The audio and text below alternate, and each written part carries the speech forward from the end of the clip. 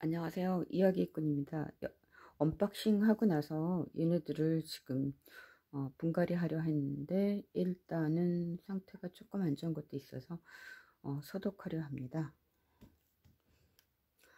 일단은 흰 가루병하고 어, 곰팡이 종류들 제거로 일단 하고요.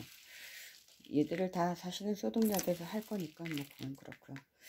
일단 이렇게 했는데요. 얘들을 하나씩 이제 분갈이 하려 하는데 사실은 호야가 여기다 심으랬더니 이거 너무 차이가 나죠 어, 이렇게 냈다가는 또 과습으로 죽일까봐 얘 나는 못하겠고요. 그러면 행이 아닌 얘도 상당히 크긴 한데 어, 여기에다 분갈이 하겠습니다. 어, 이제 소독하려 하는데요 어, 제가 처음 이런 거 키울 때 소독까지는 안 했어요. 그냥 다 분해해서 어, 심었는데 음, 묘목을 21년도 겨울에 가을인가 11월쯤에 살 때 어느 유튜브 방송을 봤을 때 그분은 막걸리를 어, 그 지금 잘 몰라요. 그 유튜브 이름도 모르고 근데 그 막걸리를 집어넣고 물에다 넣어서 어, 좀 담갔다가 비율도 지금은 모르고요. 그렇게 해서 어, 심어 심는다고 그래서 그렇게 해봤거든요. 근데 뭐 음, 가, 가을이라서 땅에 심은 것 같으면 되게 잘 살았겠지만 저는 화분에 심은 거라서 어, 그에 음, 죽은 것도 있고 살아남아서 지금까지 살아있는 것도 있습니다. 근데 어쨌든 그 후로 저는 되도록이면 소독 안 한 것들이 가지고 이렇게 온통 난리 피니까 지금도 지, 지금 이 집 정원에 그러니까 거실 정원 이렇게 거실 정원에 모든 화초의 그 음, 뿌리팔이나 아니면 뭐흰 그 뭐 이 그게 깍지벌레인지 응애인지 잘 모르겠어요.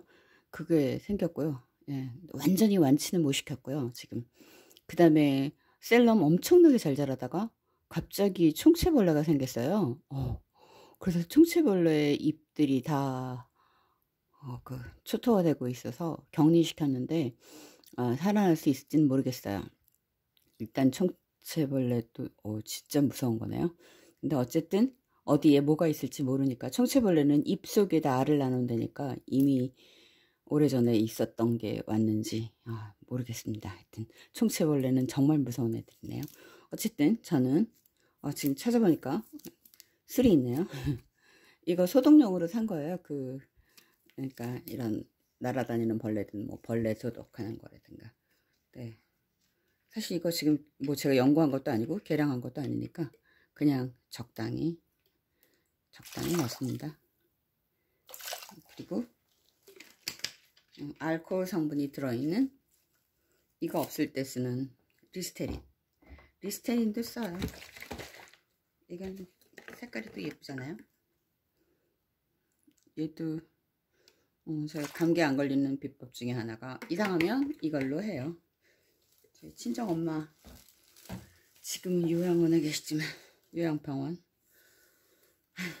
그분 감기 안 걸리게 할 때 보면 맨날 이거 하라고 그랬었어요.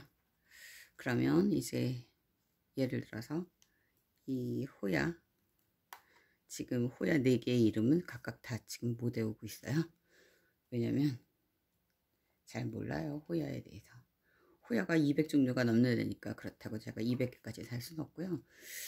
아 그냥 갑자기 욕심 음, 아니니까 옥상 정원을 처분하고 나니까 항상 옆에서 보던 사무실 가면 언제나 보던 그것이 없어서 굉장히 허전해요. 그래서 한번 더 사봤어요.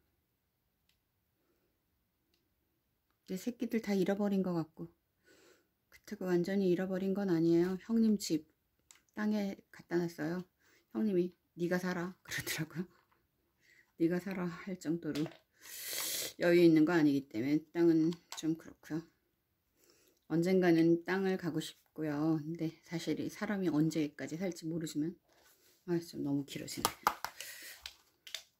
우악. 이거는 수입은 그 상태로 그대로일 수도 있어서 아, 또 할품이 꼬챙이네.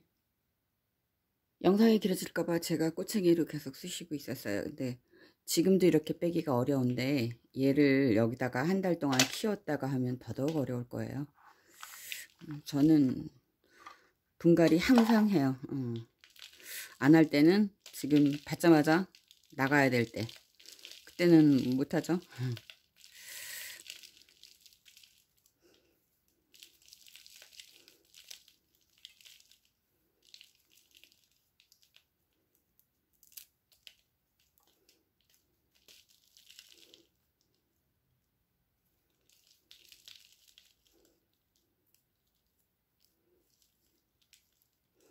음, 제일 중요한 건 뿌리기 때문에 어 얘네들은 코코칩인가 그런 것가 본데 빼기가 정말 어렵겠네요.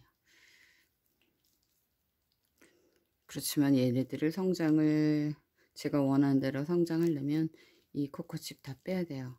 어, 영상이 너무 길어지니까 제가 잠시 쉬겠습니다. 로툰디 플로라호야. 아, 이름을 잘 몰라서요. 다 써놨어요, 지금. 음, 얘를 어, 화분에서 뺐을 때 나온 게 얘인데 얘가 열매인지 씨앗인지 잘 몰라서요.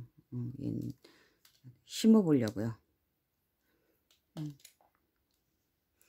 그리고 계속 길어지니까 소독은 어, 영상을 여기서 끝내고요. 어, 분갈이는 각자 하나씩 올리겠습니다. 감사합니다. 후연 애정류가 전에 이렇게 알아보면 굉장히 비쌌기 때문에 살 수 없었는데 얘가 지금 만 원 이하로 내려가서 어, 저렴하게 주시는 거겠지만 어쨌든 얘를 구입했어요. 물론 그냥 호야는 2,200원까지 내려가 있더라고요. 물론 더 비싼 것도 있고요. 근데 저는 3,000원, 2,900원, 3,500원인가? 뭐 하여튼 제가 구매할 때 음, 거기서 가장 싼 거를 삽니다. 근데 가끔은 싼 거가 아닌데 어, 택배비 때문에 때로는 그 어떤 거 처음에 갖고 싶은 그곳에 그 두 번째 게 거기 만약에 있다면 거기서 삽니다. 그때는 조금 비싸도 거기서 사요. 그러니까 음, 제가 제일 싼 거 산다고 어, 표현은 약간 안 맞을 수도 있어요. 근데 언제나 어, 판매되고 있는 것 중에서 가장 제일 제일 저렴한 걸 구입하려 합니다.